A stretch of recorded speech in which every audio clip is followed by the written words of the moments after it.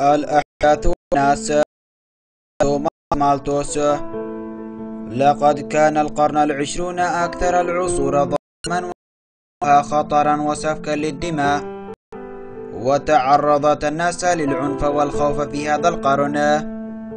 والسبب في هذا هو تطبيق نظام الدروينية الوحشية والموجعة فتجاهلت أمثلة الشفقة والحيوانات قالت في صراع على الحياة للأقوى هذه صحيحة للحياة البشرية.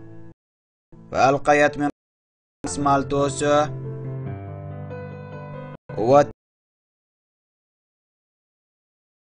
وحماية الضعيف.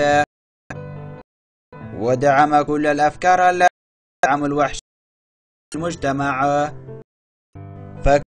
وجهة المرء المسن الفقير والمعاق منحب أدعى الاقتصاد توسف 1798 في باب السياسة أنا أكثر من بداية في المجتمع الغذاء لن تكون فيها لابد من القتل الجماعي وتوفير التوازن الغذائي. ولا التاريخ لم وهذا يعني ادعاء لا على أي علم.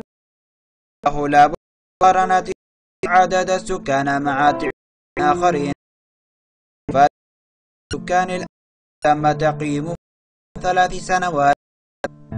ولم يتم حساب المعدل الغذائي لأنها تكنولوجيا. وفي لم تكن هناك تكنولوجيا متمة ولذلك إن زيادة كان عن كما هو تماما. هذا الادعاء دعم ظلم أيضا الدكتاتوريين مثل هتلر وستالين وبولبوت وكان شعب صراعات بين الأخوة والأحزاب الدينية واللافت هذا أن المجتمع الذي فيه أخلاق كريمة يظهر فيها والقهر بضعف الإيمان والجهل في القرن التاسع هذا علم تقبلها.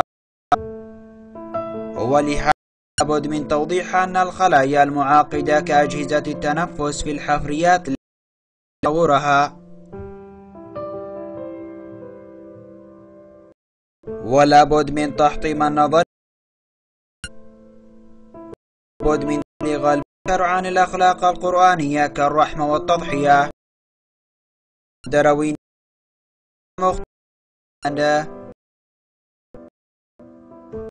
فتدريس نظريات التطور في المدارس يقود إلى حتى الآن لا في الجامعة دروس الاقتصاد تدرس نظريات مالتوس. ويتم شرح الجانب العلمي منها.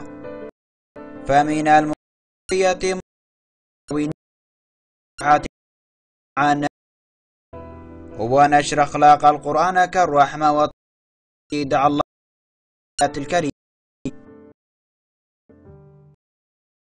من الشيطان الرجيم.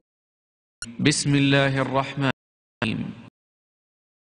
والدين إحسانا والمن الجار والجار الجنب جنب وابن السبيل وما ملكت أيمانكم.